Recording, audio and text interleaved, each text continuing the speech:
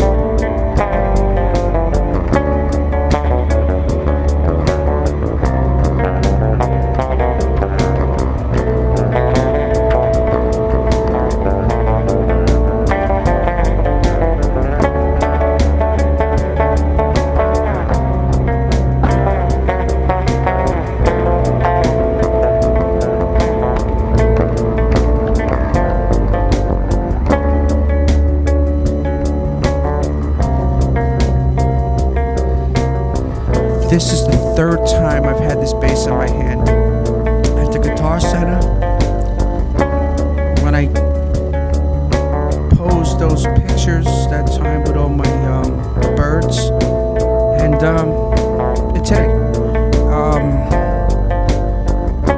um, it's got the mahogany body, but it has a set neck. Um, the body's light neck is fantastic. It's it kind of compounds a little bit, but it retains like a shallow.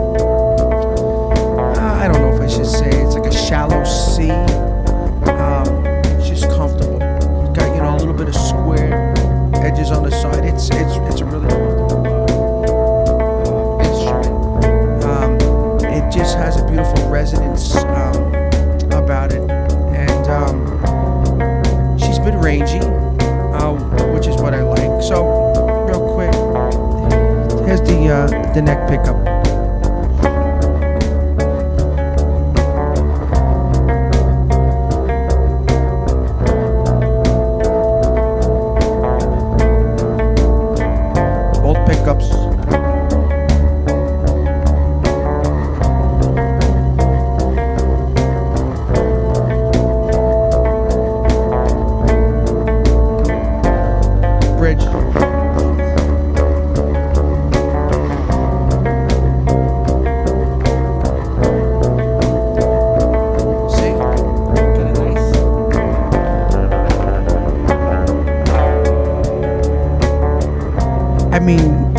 This thing is still virgin, you know. Um, and uh, I have this pickup basically all the way up, and I have it angled the way I want it.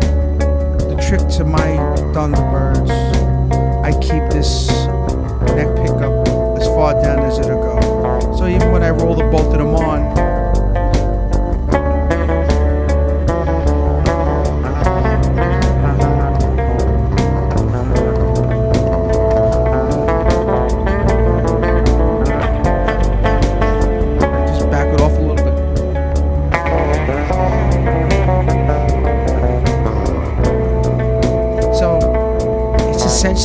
Eye candy, and actually, to me, you can taste this color. So, um, as wacky as I may seem to be, or it may sound, it's just a phenomenal bass